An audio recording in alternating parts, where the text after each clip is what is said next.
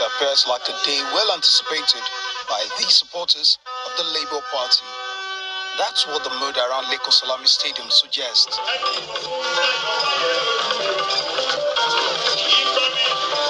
Tight security at the gate, everyone goes through the rigor.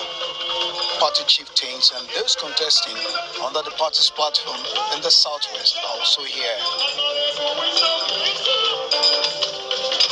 They all wait for the arrival party's flag bearer, Mr. Peter Obi. At about 3.30 p.m., the chopper conveying the presidential candidate lands at the venue with his supporters on hand to welcome him.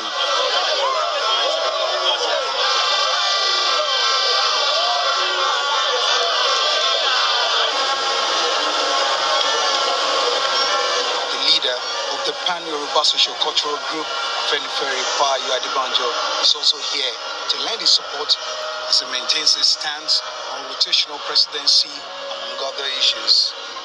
Is it fair for another Yoruba man to vie for the presidency after Chief Olusegun Obasanjo and Goodluck Jonathan? What about the Igbo people? Aren't they Nigerians too? It's the turn of the Igbo people to be president.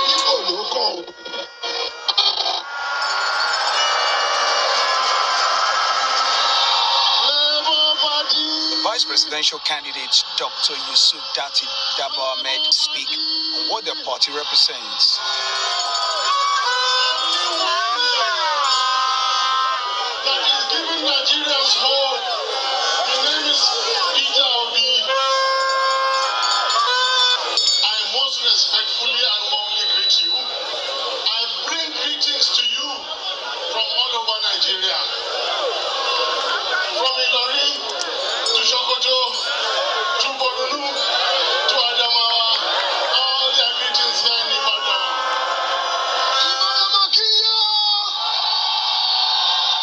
Here comes the time everyone has been waiting for. The presidential candidate says equity and justice will renew people's hope.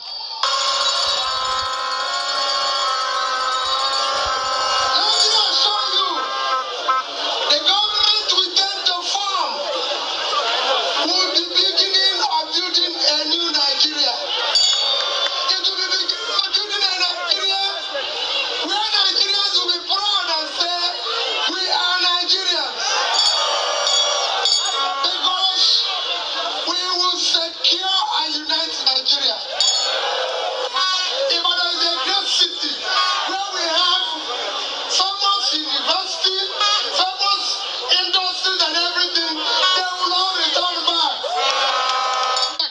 2023 election is less than 100 days away, and as political parties intensify their campaign activities, traversing the length and breadth of the country, the Labour Party, in its drive to create an offset, is promising a turnaround of the current situation in the country. Yes, my people, that is the video you just watched.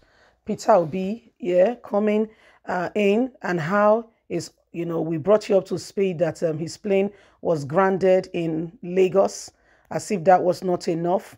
He had to come in late, you know, because he had to get a, a chopper. You can see the chopper coming in. People waited till about three, three, three thirty or so for the presidential candidates of the party to come in. People had to wait, you know, for the presidential candidates to come in you know? So that's how he came in. And when he came in this is what happened. You saw that um, when he came in you saw uh, you know uh, uh, Ayo Adebanjo you saw him you know saying it is not time for you know any you know, it is not time for, you know, uh, uh, another um, Yoruba man to take on, you know, he said it is time for, you know, uh, it, it is time for another tribe. It is time for another people. Now, we're not just saying this to say, you know, Peter Obi, you know, is, um, you know, is just because he's an Igbo man, he must be voted for. That's not the point of call. It's not because he's an Igbo man, he should be voted for. Okay? It's not because an Igbo man he should be voted for. Now, what happened is that this guy, this guy today, you know, is competent. You know, somebody who has led Anambra State before and did not owe, you know, a single salary and what have you. That's the kind of person, you know, who who worked and ensured that things were done decently and in order.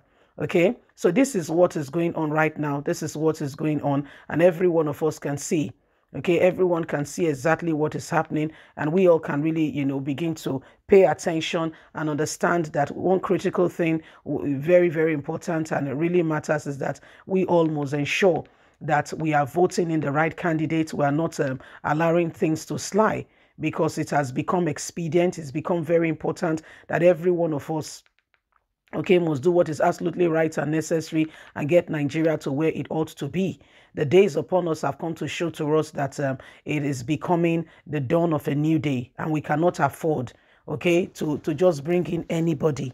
You know, you can see the, the response, you know, as soon as he came in, how, you know, the people received him. The, the, the I mean, guess what? Go and investigate.